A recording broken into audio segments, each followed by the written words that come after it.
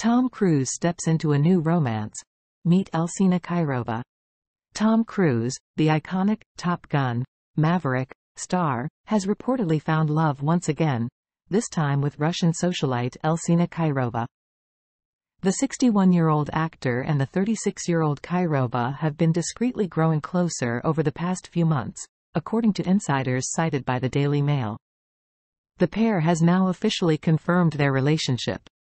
The romance blossomed as Cruise and Khayrova spent quality time together, with the actor occasionally staying overnight at Khayrova's luxurious apartment in Knightsbridge, London. Despite their high-profile lives, the couple is keen on maintaining privacy and has taken precautions to avoid being photographed together. They enjoy hanging out together and, despite their wealth, do a lot of the things that normal couples do, shared a source close to the couple.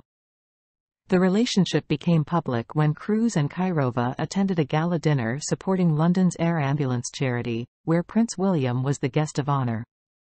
Although they arrived separately, friends noted that the couple has been spending most of their time behind closed doors. The duo has been spotted enjoying incognito strolls through Hyde Park and dining privately at exclusive London restaurants.